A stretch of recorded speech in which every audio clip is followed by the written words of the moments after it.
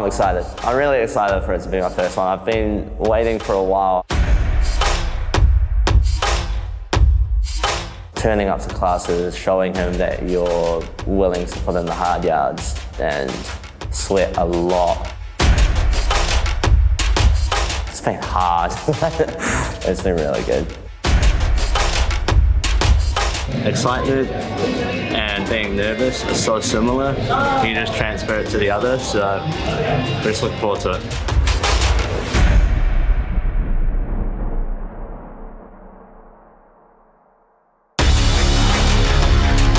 want to have confidence, but you don't want to have too much where you don't respect your opponent because anyone, anyone that gets in the ring has done the training for it. And I'm just gonna try to survive and just rely on what Mark's drilled into me.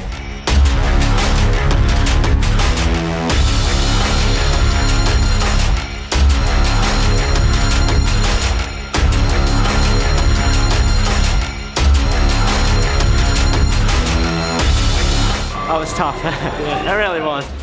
I'm not disappointed with the loss, to be honest. I just feel good being there.